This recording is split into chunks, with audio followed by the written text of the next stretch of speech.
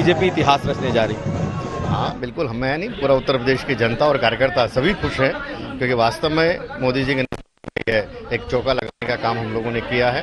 चौदह में, सत्रह में, उन्नीस में और फिर से बाईस में यह कमाल वास्तव में मोदी जी के नेतृत्व का कमाल है और पिछले पाँच साल में योगी जी ने उत्तर प्रदेश में जो विकास के काम किए, जो कानून राज स्थापित किया, यह उस काम पर जनता की एक मोहर लगी है। आपको उम्मीद थी कि इतनी सीटें आएँगी या इससे ज़्यादा आएँगी या आप क्योंकि माना जाता है कि डेटा आपका सबसे ज़्यादा बोलता है तो डेटा आपका यहाँ तक पहुँच रहा है। बिल्कुल बिल्कुल। जो लगभग मेरे संगठन के जो नीचे का फीडबैक था और जो भी परिणाम आ रहा है लगभग वो चीज़ें 99 परसेंट मैच कर रही हैं। 99 परसेंट मैच कर रही हैं। तो इस चुनाव के बाद आपको क्या लगता है कि जो बीजेपी है वो कितनी ताकतवर आपको अब लग रही है? क्योंकि इसके बाद फिर 2024 है।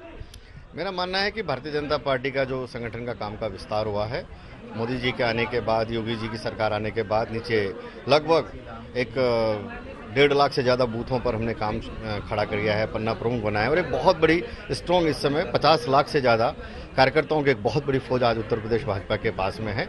और आने वाले दिनों में और हम अपने संगठन को मज़बूत करेंगे और आगे अपने काम का विस्तार करेंगे। और समाज के सभी वर्गों को जोड़कर, जो भाजपा को इस समय हमने सर्वस्पर्शी बनाया है, मैं मानता हूँ कि हर वर्ग का वोट बीजेपी को मिला है उसी का ये परिणाम दिखाई दे रहा है। आप जीत के जीत की सबसे बड़ी वजह आपको क्या लग रही है?